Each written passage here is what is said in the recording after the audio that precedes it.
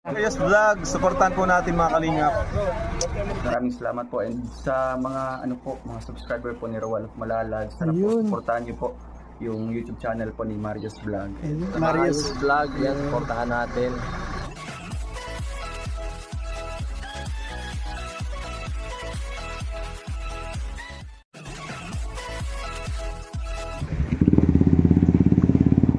Ayun mga kalingap, magandang araw po sa inyong lahat. Magandang hapon, magandang gabi sa anong man ho kayo naroroon.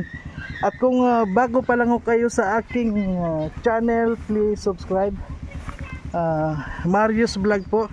At huwag ninyong kalilimutan na suportahan Kuya Bal Santos Matubang, Ate Edna Vlog at Kalinga Prab. At sa ngayon ho, nandito ho tayo sa bayan ng Ah, sa loob ng ginakutan. At ito nga ho nakita natin itong isang bahay ho na na ang nakatira ho dito ay matanda na si Mang Nardo.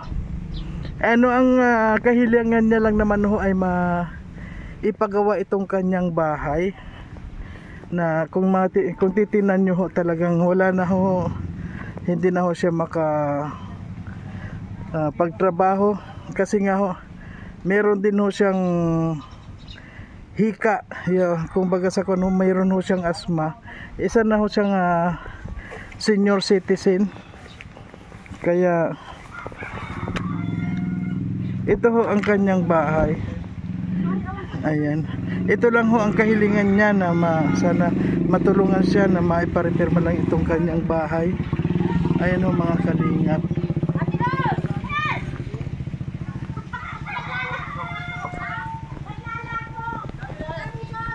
Sa lahat ho ng gustong tumulong dito kay ah, Mang Nardo, welcome ho kayo. Baka bukas ho ang aming palad para tanggapin ang mga tulong na ibibigay ninyo para sa kanya. At kung ah, ah, at kung hindi naman ho kabawasan sa inyong tumulong, welcome na welcome ho kayo. Sa ngayon ho hindi ho natin na ah,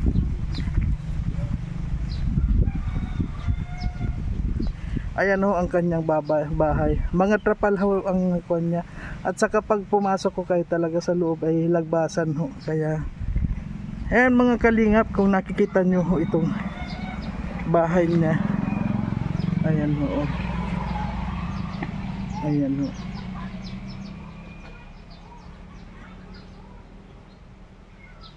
Ayan ho. Iyan ho ang kanyang bahay. Gusto lang ho niya na mai maipa repair man lang. Ayan. Siya ho ay senior citizen. Wala na ho siyang ah, kakayanan na magtrabaho ng sagaran. Ayan po. Ay ayan ho. Naghahanap tayo. ayan ho yung Mamamakyaw ng May- pakwan. May-ari ng bahay Nasaan ka daw? Nasa na? Ay, Diyos ko yan. Tanghali na kami. Wala ko. Hindi daddy, may nag-aantay sa iyo. Alam po tay, kilala nyo pa ako? Oo. Ngayon no, bumalik ako dito ano? Bumalik ako.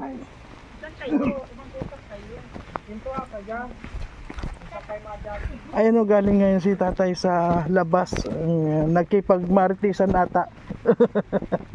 Naghihingal. Mm. Mm. Bukas. Ayun po. Ayun po si tatay.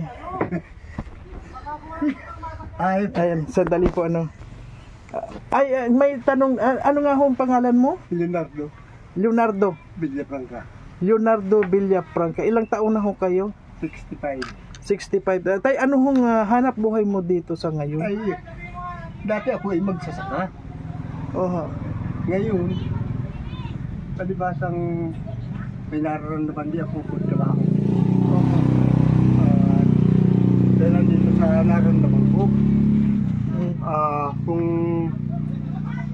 ako ay bibigyan pa ng medyo mahabang buhay ay maganda. Sapagkat yung lakad ko yun, no, galing ako doon. Oho. Naghihingal ako pagdating na di mo napansin. Oho, oho. Ay Yun nga ni ang Kaya, aking diferensya. Ang gusto ko sana magkaroon pa ng hanap buhay na magaan. At hindi naman tayo pwedeng umasa na lang sa kunay, uh sa mga bigay-bigay ng uh Tay, halimbawa ho ano tay, eh ah, itong bahay mo, re-repairin ho ito. Ito hong ginatatayuan ng bahay mo ho, sa inyo ito sariling lupa mo ito, pwede nating repairin ito dito. Ay, okay lang sapagkat ito ay ang tinatito yung magulang ko. Ah, oo. Ito ay pag-aari ni Ponciano Sereno na kung saan ay siya ay ah, inaalak pa yung aking magulang noon. Aha. Ngayon sila laging tinans dito. Kaya ako naman ang iniwan at namatay na yung magulang ko. Kasi hindi nyo na uh, kaya na magtrabaho, ano tay, kaya kailangan kung magkakaroon kayo ng negosyo, ay yung yun man lang na Yun sana. kayang-kaya nyo. Mm, kaya-kaya. Oo. Kasi manage ka lang naman yun. Laman. Kapos, ka kapos di man ako sa ako dahil kung ano nagkaroon ako ng konti-tinda dyan naputol Oo. dahilan sa pagkakasakit ko. ah. Ayun po. Yun ang aking ano yun. Ah, siyempre wala naman, hindi naman po pwede na ikaw ay mai mai salbar mo yung ah yung puhunan sapagkat ikaw ay di ka naman kakatrabaho. Di ka naman yung puhunan mo dun sa tindahan, sa magagamitin mo para kung ikaw ay madugsungan ng buhay. Oo. Yan ang aking. Kaysa ngayon, patid. So, ayun. Ay, Aha. hinihingal. Mhm. Ngayon, saka gusto ko sana matulungan din sa aking karamdaman. Ayun po. Kung pwede.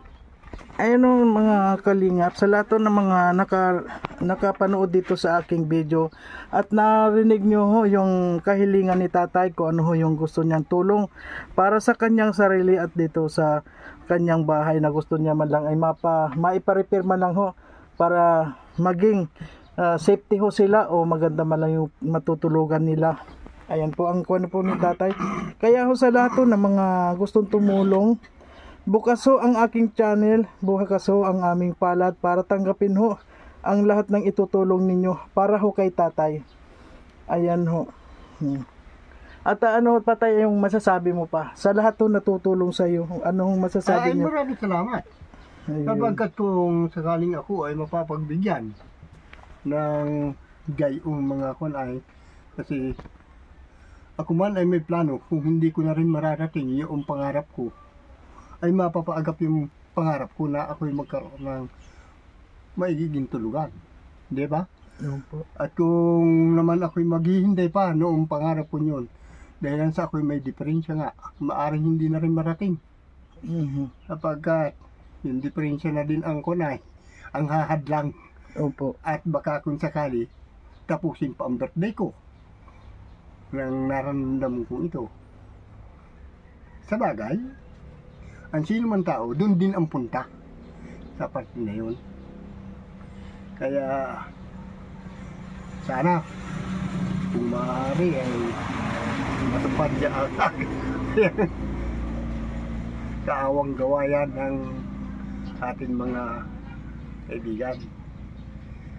Ayan po tayo, sana ho mag-pray lang po ano tayo tayo ano, pray lang ho tayo para dahil ho, kami ho ay ginawa lang ng uh, Diyos para maging tulay para makarating dito sa inyong kinalalagyan. Sana po. Ah, At dahil sa, sabi nga nung ah, pumunta kayo dito, ng mga nakaraan, madaming mga manunukso at maraming naiingit. Sabi sa akin, kung bakit daw tinanggihan ko yung offer sa akin na tutulungan. Sabi ko, wala akong sinabi na gayon. Sabi daw ho ninyo. Sabi ko, yung pala'y politics. Naisip ko politics. Di man kako na ako yung daan din ng gayon. Di ako nagsasalita sa kapwa ko ng gayon. Nalulukuhin mo yung isang tao. Kaya, hindi lang pag ako dito puntahan din. Sabi ko, bakit ganun? Naman kong sinasabi na labag. ah, Yun ay kusang loob ka ko sa kagandahan loob ng tao, pinuntahan na ako ako dito sa bahay. Wala naman akin akong sinabi na kung ano. At isa pa ho, ano tayo, ah, hindi ho kami pupunta dito. Si, pupuntahan kita dito na sasadyain kita para lokohin lang. Eh, Wala ho sa amin. Sa Kalinga po talaga hong tumutulong. Kung makikita nyo ho ang ah, channel ni Kuya Bal Santos Matubang, marami po kaming pinapabahayan. Ang Kalinga po marami. At- ko lang po na pag-alaman, kasi nagtatanong-tanong ako dun sa mga panay, hanggang sana akong kusi Yan po mga kalingap, ito nga ho ang, ah, pa, ang ah, kahilingan ni tatay na gusto, sa lahat ng gustong tumulong sa kanya ay nasabi niya na ho at ah, sa lahat ng gustong tumulong ho ay bukas ho ang aming palad para tanggapin po. Ayan po at marami pong salamat. Unang-una nagpapasalamat tayo kay Kuya Bal Santos Matubang, Atid na Vlog at Kalinga Prop. At ang inyong lingkod ho, Marius Vlog. Sana ho huwag nating kalimutang suportahan. At ah, maraming maraming pong salamat. Ayan.